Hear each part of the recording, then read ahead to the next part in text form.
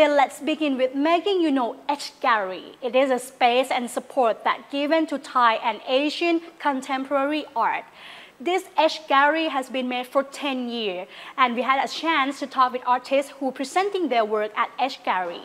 How is it going to be? Let's see. H Gallery is one of Asia's leading venues for regional and international art.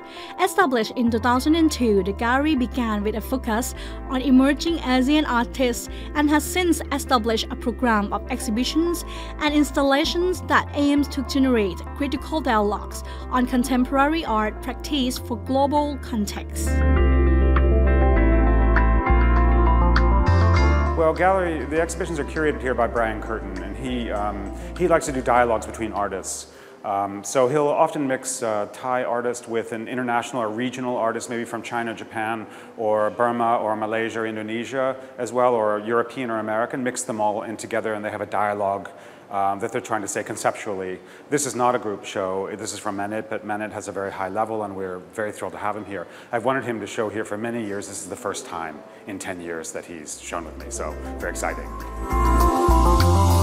Throughout the time that H Gallery was established, there were a lot of work showcased from different artists, both local and international including Somnuk Huangthanapan's abstract painting of jagged line and geometric blocks of color explore the Buddhist notion of impermanence and the cyclical nature of life relative to time.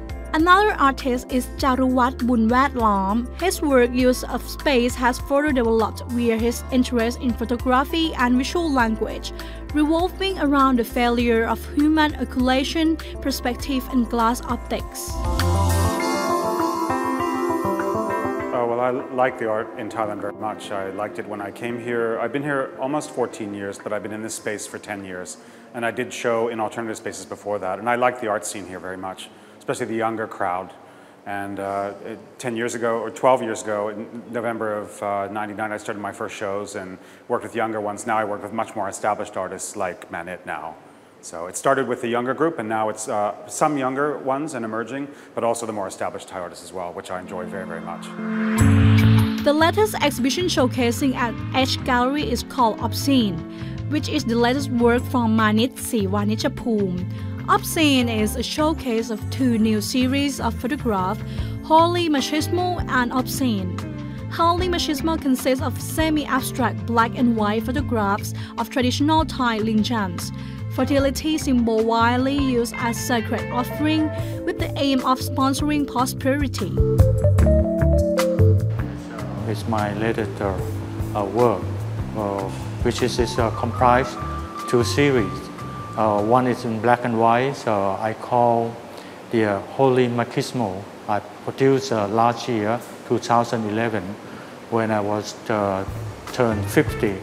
You know, when you turn 50, sometimes you have um, something about your, in yourself as a man, uh, feeling that you you not feel that you are man manly enough or something about your hormone, your that has happened to me that I you know I feel insecure about my design, my passion. You know, it's it's the um, you know testosterone. Yes, um, it's a hormone that about a man. So. That is one of my series. It's in black and white, uh, and I use the um, the the lingam as uh, or the phallus we call palat kit uh, in the Thai so, I believe uh, palat kit is like um, it's represent about uh, fertility, protection, you know, and I think it's, it's very interesting. Uh, I use it as uh, to represent my uh, my, my feeling. You know.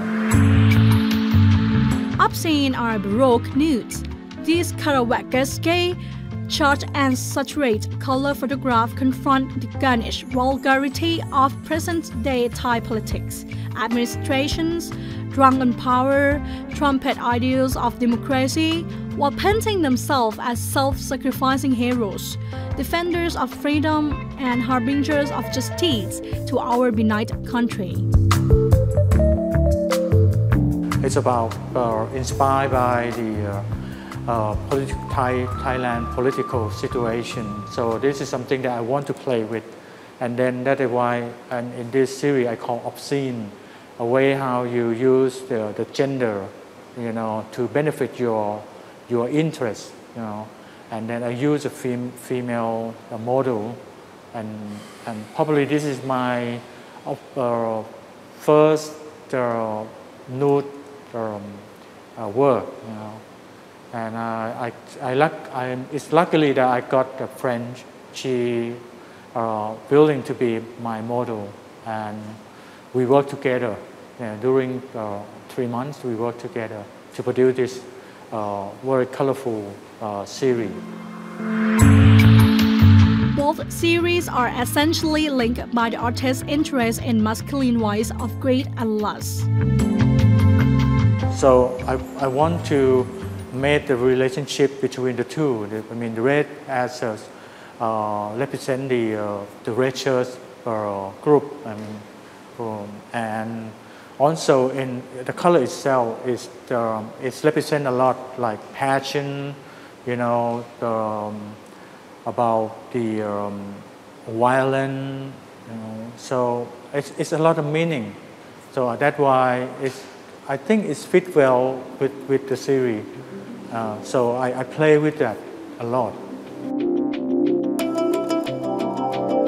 Manit Sriwanichpoom has created a lot of artwork, including photography, writing, or conceptual art, as well as social activists. His most famous work is a photography called Pink Man, with a chubby guy in pink suit in supermarket taken in many places around the world. The Pink Man collection is indirectly talking about politics and Thai society. It includes both current pictures and those pictures which are retouched from violent situation in October 6, 1976. I had been my work. Let's say my work, and um, I, um, it's always about politics. You know, it's about social problem. It's about you know uh, equality, democracy. It's about that. So that that is that is my work. That is the nature of my work, and this is also the series, also about that. You know, my my uh, my famous the series like Pink Man. Pink Man it also made a comment on the um, uh, consumerism, you know, which is uh, uh, is now what you what you see happening in, in Thailand that uh, consumerism is uh, dominate the people mind, you know, and economy. So it's very dangerous because of, as you know, that uh, the, we have the global crisis everywhere because of the economic crisis happened because of the over, overconsumption and also part of that is the capitalism. Working in art area can tell different people's character. It is dependent on how they can provide best communication with the audiences. Main point of art is to create impression and fullness and give both knowledge and happiness without borders.